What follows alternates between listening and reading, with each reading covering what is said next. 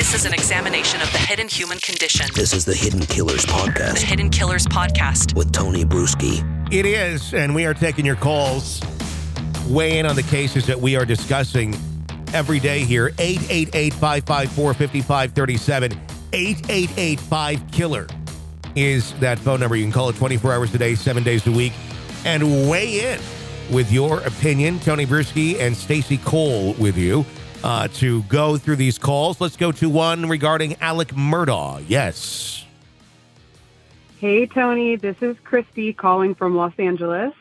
Um, I am a huge fan of your podcast. I've been listening to every episode since day one of it being just for Killed for What. Um, so thank you so much for uh, just holding a space for for this conversation about all of this. It's fascinating, it's insightful, it's helpful, and I'm just a really big fan of yours. Uh, anyway, I just uh, wanted to to give some thoughts on um, Alex Murdaugh.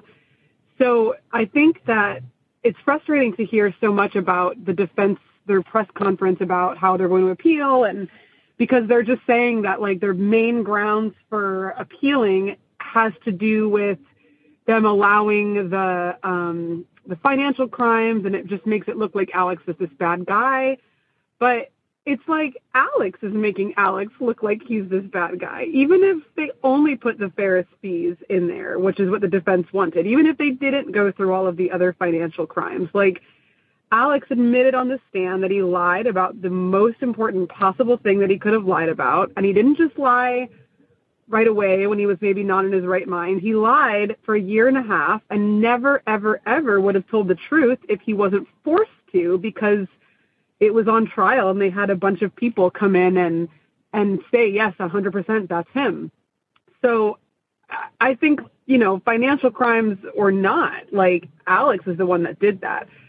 And i think that like you don't really need any evidence other than the timeline in my opinion because the way that creighton waters put it i thought i mean he i thought his cross examination wasn't amazing of alex but i do think his strongest point which I, I don't hear talked about enough on, on your podcast, I, in my humble opinion, is that who else could have done it? Like you don't, I know that nobody needs to prove beyond a reasonable doubt another person, but there's just no reasonable conclusion now that we have this kennel video and we know with certainty that Alex was there at 8:44 p.m. and that they were killed at 8:49 p.m. Like we know that for a fact because Alex is on the video at 8:44, and he even admitted now, but I don't take much of what he says uh, at face value. But like we know that he was there at 8:44, and we know they died at 8:49 because they were in the middle of active conversations on their phone, on text, and both of their phones locked forever at 8:49 p.m. And then they, you know, the different ways that the phones oriented it showed that they like had fallen to the ground and all of that. So very, very, very clear that 844 is when he was there and 849 is when they died. So to believe his story, he would have had to have left the second that that video finished filming and like drove that golf cart like a bat out of hell to the house.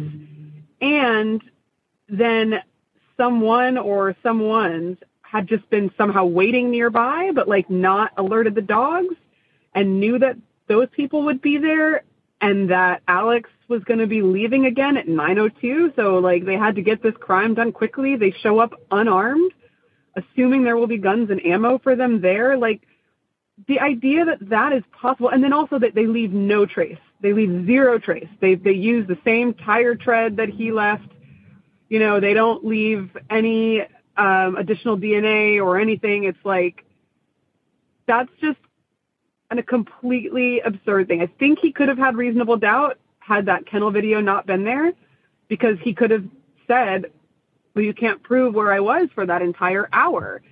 But when it's like minutes, it's like literally four to five minutes that you have to assume that someone else is like coming through and doing all of it. I mean, that's just, it's a ludicrous assumption. So I just think that like the timeline alone even if you don't take into the other stuff into account, the timeline alone, to me, is proof beyond a reasonable doubt. The timeline with the kennel video. Um, and yeah, I mean, Paul seemed like a real asshole and like a really shitty kid. Um, but you know, he didn't deserve a death sentence, uh, and nobody does. And also, um, you know, he uh, he kind of solved his own murder, didn't he? I mean, that's pretty damn fascinating. Uh, if you think about it, like even Alex didn't know that he had that video. Like, pretty incredible. Um, pretty incredible story. So, despite how I feel about Paul, you know, as as he was as a person, uh, it is pretty remarkable to see someone really solve their own murder in a way. Um, kind of profound. Anyway, thanks for listening. Um, thanks again for all you do. Um, take care. Interesting theory. Uh, Yeah. And uh, there is a lot of, because it was funny as uh, Alec always initially said, you know, Paul's a little detective. Paul always catches stuff, which is a really weird thing to say in the police interrogation videos uh, about your son who's dead. He's a little detective. Like, what? So, uh, one way that can lead you to believe maybe Paul found out some things about Alec that Alec didn't want anyone else to know about anymore. Um, that could be possible a motive there. Um, the only other foreseeable thing that I could possibly lay a, a finger on, and I've talked about this a little bit with some others, of if Alec was not the one who pulled the trigger, was this some sort of a a hit? Was this somebody that Alec had screwed over with money? Because God knows Alec was good at doing that. Um, Yep. and, and the word cartel comes up.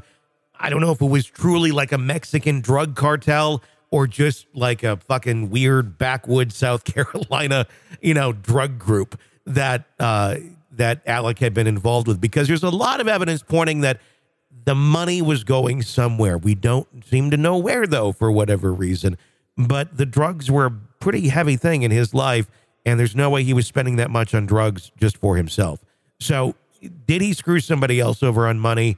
Did he owe somebody money? And there was an example, and they literally went there to the kennels with Alec, executed his family in front of Alec, said if said you're going to take the blame for this. If you don't, we're going to go after your other son. We're going to go after all of your brothers. We're going to go after all their family and their kids, and something really horrible. And Alec had the only choice, and maybe Alec did make a good decision here by saying, "Okay, I'm just going to say I, you know, I'm going to plead not guilty, but I'm not going to uh, ever implicate any sort of drug operation or or hitmen that made a threat against me because if I do, all of their lives will be in danger, and at least some will likely get killed. That could be the So you think this was thing. a sacrifice of some sort? If we want to believe the Hallmark Hall of Fame version of the movie, where this is how it, it truly ended, um, it could be. But is that what happened? I don't know. I think that's also kind of a stretch, but there's a lot in this story that is kind of a stretch. So could it be? And that, that could explain why there's no other marks. That could explain why there's no other tire marks or anything like that, that he just uh, you know, they they came there with Alec, almost you know at gunpoint, saying, "Here's what we're gonna do: we're killing your family. You say anything, uh, you give us that money, or more people are going to be killed. Uh, and, and you say anything about this, others will die as well. Could that be the case? Sure, but who is it? I don't. I don't know. Uh, there, there doesn't really seem to be much evidence to that, other than just being a semi-logical theory that's not super logical because there's nothing that's been pointed out that proves he was involved in some sort of drug operation, other than kind of you know fringe theories here and there. Not to say that one of those is going to be legit, though. But he did he screwed over a lot of people financially speaking Yes. and you know there may just be this web of financial um obligations Yeah. and people he owes money to and finally they said all right it's time either you pay Yeah. up or this is what's going to happen And that's an interesting theory those are the people he screwed over on the books and, and with Right? with a paper trail. So who is he screwing over off the books without a paper trail? Could that have been? And maybe it wasn't necessarily about drugs. Maybe it was just about money. Maybe it was just about you're going to get me that money, and you're not. Uh, in you know, you're going to not uh, say that I did this. Otherwise, more of these your family is going to die. Could it be there? Yeah, I, I think it, it could possibly be that. But at the same point, he's going along with it and he dug his own grave in this case. So I think he's just as guilty. but is there some sort of noble end to this where he was doing this to save the rest of his family? Like I said, maybe in the Hallmark movie version, but is that reality? Nah, I don't know. I don't know. Well, I think you're right about the Hallmark movie version. I can just imagine that they're working on this as we speak. Don't you think? I don't think Hallmark's making a version of the well, Alex no, not Hallmark. story. Well, they have a mystery channel.